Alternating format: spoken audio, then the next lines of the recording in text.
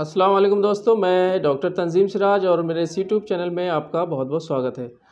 आज के इस वीडियो में मैं बात करने वाला हूँ एक ऐसे केस की जो पूरी तरीके से ठीक हो चुका है बहुत ही खुशी की बात है बहुत ज़्यादा एक्साइटमेंट है और मेरे लिए भी बहुत खुशी की बात है उन तमाम मरीज़ों के लिए खुशी की बात है जो किसी न किसी कॉज़ की वजह से आँखों की बीमारी आँखों की जो उनकी रोशनी चली गई है पार्शली या कम्प्लीटली उनके लिए भी बहुत खुशी की बात है फ़िलहाल जो केस है वो जी विद्यासागर हमारे एक पेशेंट हैं जी विद्यासागर इनका केस है जो कि एक थैलीसीमिया नामक बीमारी जो होती है उस बीमारी से ये पीड़ित हैं और उसकी वजह से इनकी आंखों की रोशनी काफ़ी हद तक चली गई थी विज़न इनका सिक्स बाई सिक्सटी हो गया था तो इस वीडियो में उनके पेरेंट्स ने उनकी माँ ने और उनके पिताजी ने यानी कि फादर ने अपना अपना रिव्यू दिया है और साथ में विद्यासागर ने भी अपना स्टेटमेंट दिया है तो अभी कुछ देर में मैं आपको दिखाऊंगा कि उन्होंने किस तरीके से आ, बताया अपने माँ ने अब क्या बताया क्या फीडबैक दिया पिताजी ने क्या फीडबैक दिया और विद्यासागर जो खुद पेशेंट थे हमारे उन्होंने क्या फीडबैक दिया बहुत जगह दिखाई बहुत जगह घूमी मगर कहीं भी एक ही हर जगह एक ही बात बोला गया कि हम इसका ट्रीटमेंट नहीं कर सकते फिर मैं एक दिन यूट्यूब में सर्च कर रही थी तो अचानक मेरे को डॉक्टर तंजीम सिराज का एक वीडियो मिला जिससे मैं उनसे कांटेक्ट की फिर उसके बाद मैं उनसे बात की मैं अपनी पूरी रिपोर्ट दिखाई फिर उनसे मैं बात की कि सर ठीक हो सकता है कि नहीं सर बोले कि छः से सात महीने का टाइम लगेगा ठीक हो जाएगा करके फिर उसके बाद मैं उनसे दवाई मंगाई फिर अपने बच्चे को मैं दवाई खिलाई दवाई खिलाने के तीसरे दिन से ही उसके जो पूरा दिखता नहीं था जो आप उससे हल्का हल्का दिखना स्टार्ट हो गया और आज पूरा पाँच महीना कंप्लीट हो गया उसकी जैसे शुरू में जो ऐसी उसकी आंखों की रोशनी थी वैसे ही अभी उसको पूरा नज़र आ रहा है स्टार्टिंग में जैसे आँख था उसका जैसे दिखता था वैसे अभी उसको नज़र आ रहा है भारत में रहने वाले सभी से ये निवेदन है कि आपके आसपास चाहे आपके घर में या आपके रिलेटिव कोई भी इस परेशानी से जूझ रहा है सभी से ये निवेदन है कि डॉक्टर से संपर्क करें और ट्रीटमेंट स्टार्ट करवाएं क्योंकि हंड्रेड परसेंट ठीक होने का पूरा का पूरा चांस है क्योंकि एग्जाम्पल मेरा बेटा ही है जिसका पूरी तरह से अभी ठीक है मेरे लिए तो ऐसे लाखों लोगों की वो मदद करे और सभी को ठीक करे नमस्ते I am Venugopal from Srikakulam Andhra Pradesh I am also working as senior ester medical and health department I have two sons first one is uh, Vidyasagar alias Sai Kumar, aged about 16 years. He got uh, thalassemia by birth. Friends, please, this my son got thalassemia. Once see the report, he got thalassemia. Okay it is very very serious disease doctors are well known for this disease and in this in this condition he got uh, likely to be uh, eye, decre- eye vision decreasing i request to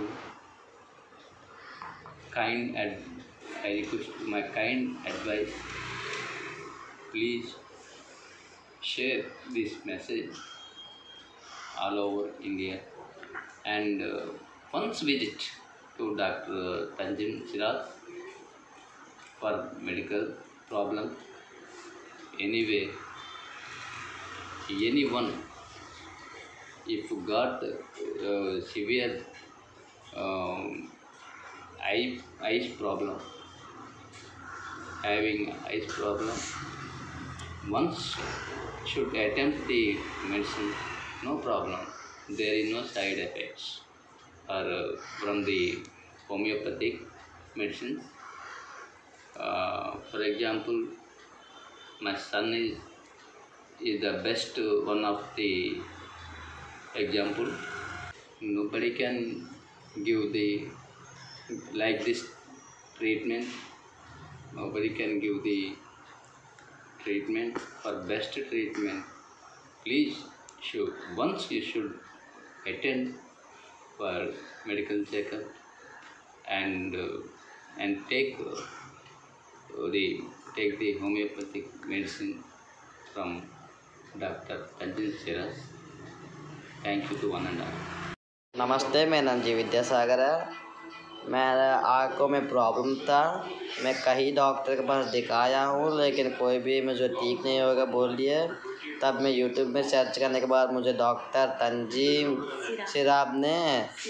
Siraj से contact हुए तंजीम शराब साहब से उनके दिए हुए medicine से मेरा फाइव मंथ्स के अंदर मेरा आपका भी ठीक है आप सभी को निवेदन है कि आप भी मेरे जैसे डॉक्टर तंजीम शराब से कांटेक्ट हुए उनसे मेडिसन लेकर ठीक हो तो दोस्तों देखा आपने कि क्या उनकी माँ ने क्या बताया और उनके पिताजी ने क्या बताया और विद्यासागर ने क्या बताया किस तरीके से उन्होंने अपना रिस्पॉन्स दिया है और उन्होंने जो अपील करी है कि वो चाहते हैं उनके फादर चाहते हैं इस मैसेज को इंडिया के कोने कोने तक फैलाया जाए ताकि और लोगों को इससे फ़ायदा हो सके तो आपके जहन में ये क्वेश्चन आता होगा कि जो हमारे जी विद्यासागर हैं तो विद्यासागर जो कि हमारे पेशेंट हैं इनको आखिरकार क्या मसला था किस वजह से ये मतलब इनकी आंखों पर क्या थैलीसीमिया से कैसे फ़र्क पड़ सकता है आंखों की रोशनी पर कैसे थैलीसीमिया कैसे आंखों की रोशनी को जो है इफ़ेक्ट कर सकती है तो उसके लिए मैं आपको कुछ रिपोर्ट्स इनकी शेयर दिखाना चाहूँगा आप इसको देखिए दोस्तों देखिए ये रिपोर्ट्स है जी विद्यासागर की जो कि आंध्र आंध्र प्रदेश से बिलोंग करते हैं आंध्र प्रदेश स्टेट ये देखिए राइट आई का सिक्स बाई थर्टी सिक्स और लेफ्ट आई का सिक्स बाई सिक्सटी इनका विज़न था और इनकी बोथ आई के पैल डिस्क यानी कि जिसके जो है इनकी पहल हो चुकी थी और फिर ये देखिए देखिए बीटा थैलीसीमिया ट्रेट इनको ये बीमारी थी और दूसरी चीज़ मैं आपको दिखाना चाहता हूँ कि ये जी विद्यासागर का ओल्ड रिपोर्ट से 2019 का तो इस पर क्या था कि बीटा थैलीसीमिया और इनको एक्यूट इन्फाक्ट यानी कि ब्लीडिंग भी हुई थी इनके ब्रेन के अंदर first episodes of acute infarction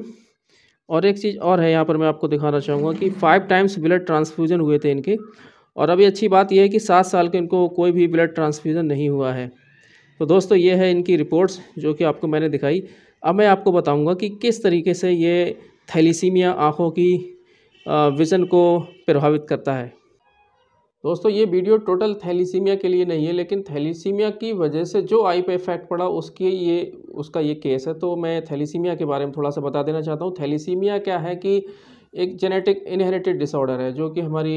जिससे हमारा एक तरीके से सिंपल भाषा में समझ लिए ब्लड जो है प्रभावित होता है हमारे ब्लड के अंदर एच बी हीमोग्लोबिन होता है उसमें जो है हीमोग्लोबिन लेवल इसमें कम हो जाता है और हीमोग्लोबिन हमारा ऑक्सीजन कैरिंग मतलब ऑक्सीजन को कैरी करता है और अगर कुछ सिम्टम्स की बात करी जाए लक्षण की बात करी जाए तो ये है कि मतलब इसमें कमज़ोरी आती है पेशेंट को फटी कम वीकनेस डार्क यूरिन और पेल स्किन ये जो ऐसा लगेगा ज्वाइंट है पेशेंट को इस तरीके के कुछ सिम्टम्स उसके अंदर आते हैं या फेस बोन जो है डिफॉर्मिटीज़ वगैरह रहती हैं लेकिन हमारा ख़ास जो कंसर्न है वो बेसिक हमारा जो मेन इशू है वो ये है कि थैलीसीमिया ने किस तरीके से हमारे पेशेंट की या किसी भी मरीज़ की आंखों पर किस तरीके से प्रभाव डालता है आप समझ लीजिए कि बीटा थैलीसीमिया इस तरीके की बीमारी है कि इसमें पेशेंट को कभी कभी लाइफ टाइम आरबीसी ट्रांसफ्यूज़न यानी कि कह सकते हैं आप ब्लड ट्रांसफ्यूज़न की ज़रूरत पड़ती है ब्लड की ज़रूरत पड़ती है और इसमें मोस्ट कॉमन है कि आपके मरीज़ के अंदर बच्चों के अंदर या फिर किसी भी पेशेंट के अंदर जो थैलीसीमिया से ग्रसित है पीड़ित है आकुलर इन्वॉलमेंट यानी कि आकुलर यानी कि ऑप्थालमिक इशू आई डिजीज़ वगैरह होने की संभावना काफ़ी ज़्यादा हो जाती है वो किस तरीके से होती है आइए जानते हैं दोस्तों जिस तरीके से मैंने बताया कि जो आ, थैलीसीमिया के पेशेंट होते हैं उनके अंदर ड्यूरेशन के साथ साथ सीबीआरटी भी बढ़ती जाती है एक वर्ड होता है रेटनल वेस्कुलर टॉर्टियोसिटी इसमें होता क्या है कि इसमें और भी ज़्यादा चेंजेस और भी ज़्यादा लक्षण दिखाई पड़ते हैं इसमें जो है सीबीआरटी और एनीमिया यानी जैसे जैसे सीबीआरटी बढ़ती है उसमें एनीमिया का लेवल बढ़ता जाता है एनीमिया यानी कि ब्लड लॉस होने लगता है पेशेंट का और एक वर्ड आता है यहाँ पर पी एक्सी लाइक सिंड्रोम होने लगता है पी एक्सी बोलते हैं जी सीडो जैनथोमा इलास्टिकम ये क्या करता है फंडस जो आई का पार्ट होता है उसके अंदर चेंजेस लेके आता है और पेशेंट की विज़न पे काफ़ी ज़्यादा इफ़ेक्ट पड़ता है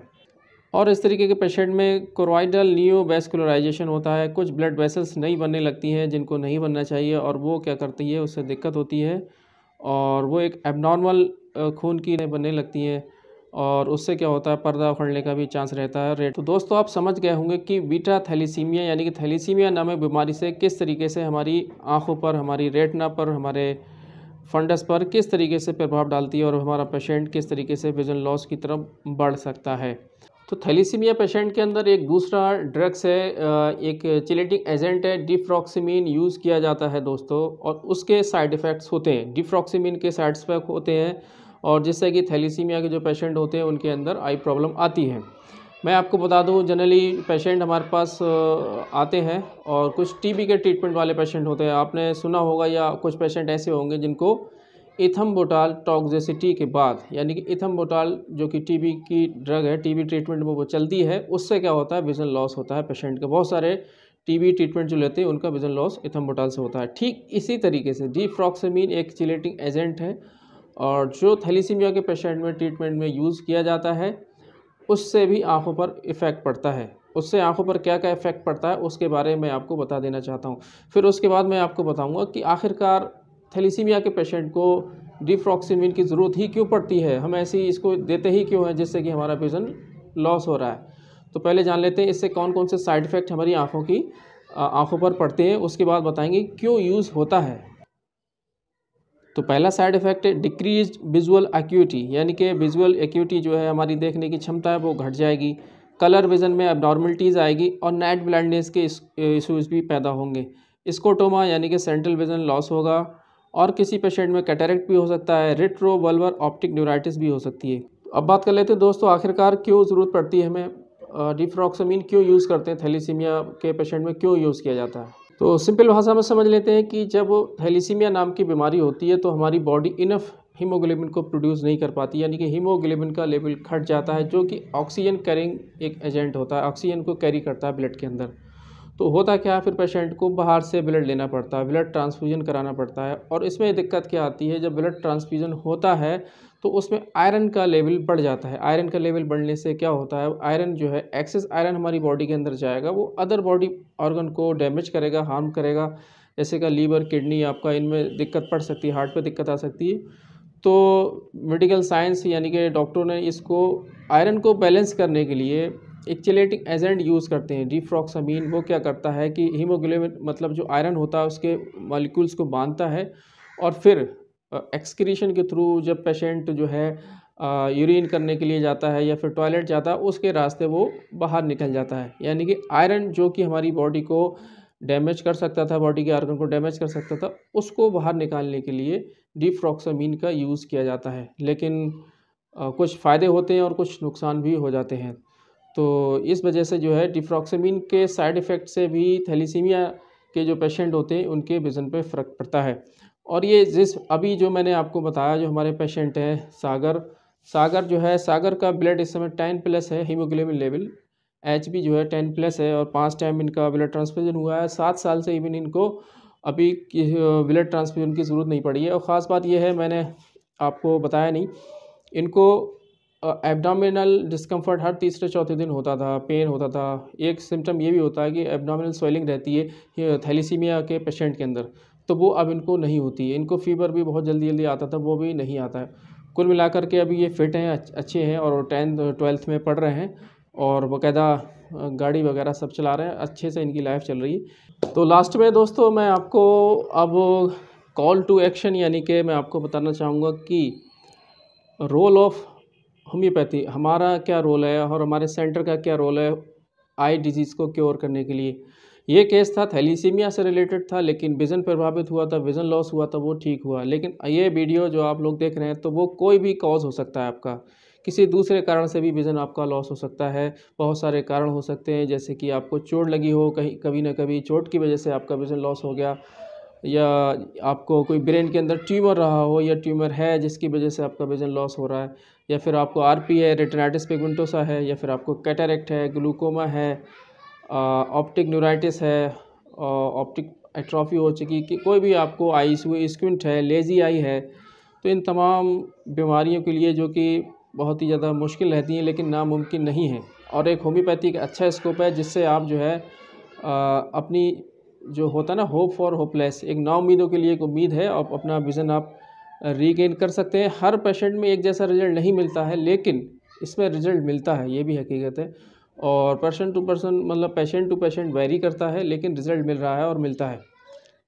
तो मैं आपसे यही कहना चाहूँगा कि अगर आपको इस तरीके की कोई प्रॉब्लम है आई इशू है आई प्रॉब्लम है आँखों से कुछ देखने में दिक्कत है चाहे वो किसी भी कारण से है तो आप डिस्क्रिप्शन में मेरा नंबर दिया गया है व्हाट्सअप नंबर उस पर आप बेहिचक अपने जो है व्हाट्सअप रिपोर्ट को शेयर कीजिए